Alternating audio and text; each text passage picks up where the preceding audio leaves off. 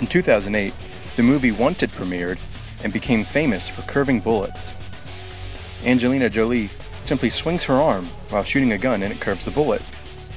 Since then, many folks have tried to recreate this effect, which was obviously done with special effects, but no one has succeeded. The crew from Mythbusters tried several different methods of curving bullets.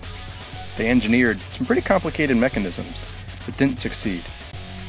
In a different episode, they wanted to mimic a James Bond movie where he stopped a bullet with an electromagnetic watch. They actually used some neodymium magnets to try to slow down a bullet, but in the end, the myth was busted. The problem? Most bullets are made from non ferrous metals like brass, lead, or copper, which aren't attracted to magnets. Even if a bullet was made from steel, the speed at which it passed by the magnet would be so fast, the magnet probably wouldn't have any effect. With an extremely powerful electromagnet, like from an MRI machine, it could possibly curve or slow down a brass bullet due to the eddy currents that are induced. But a magnet that strong might also rip the gun right out of your hand. Plus, who has an extra MRI machine sitting around? Here at K&J Magnetics, we wanted to try this ourselves, and we did what any good scientist would do. We stacked the conditions in our favor to get the results that we wanted. We used steel BBs rather than a brass bullet and a low-powered air rifle rather than an actual firearm. Still, we wondered if using a single neodymium magnet would curve a steel bullet. Three, two, one. Bullseye. Nice. All right. Well, it is. It is here. That's the mark. All right. You want to do a second shot just to prove we know what we're talking about? Sure. Three, two, one. Pretty consistent. Right next to it. Let's take a look at some high-speed footage. As you can see, the control shots shoot pretty straight.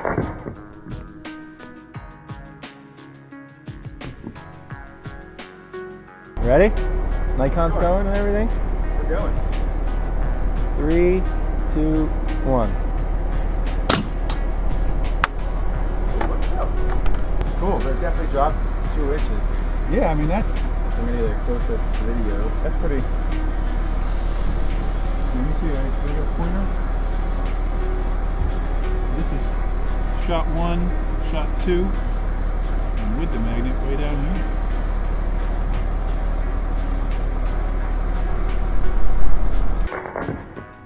Again, for reference, here's the control shot.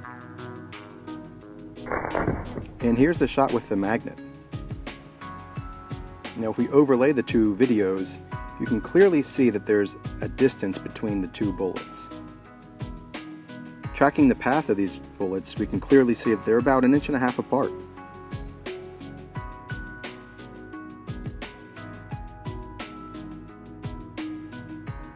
Now if we extrapolate the data and put it on a graph, at about 5 feet away, the bullet dropped about 1.5 inches. That means at 10 feet, we should see a drop of about 3 inches. That's a pretty serious drop.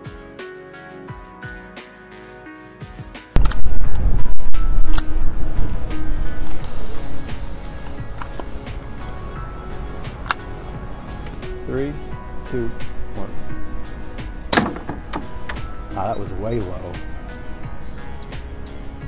That was in the lower ring. With the high-speed camera set up at a different angle, you can clearly see the two bullets separate as soon as they pass over the magnet. If we go frame by frame, it also appears that the bullet that passed over the magnet is actually a little bit slower in velocity than the regular bullet. Right, like each time you're not getting the exact PSI or whatever. In conclusion, technically, we got magnets that curve a bullet. If you like this video and want to see others like it, please consider subscribing to our channel. And also check us out on the web at www.kjmagnetics.com.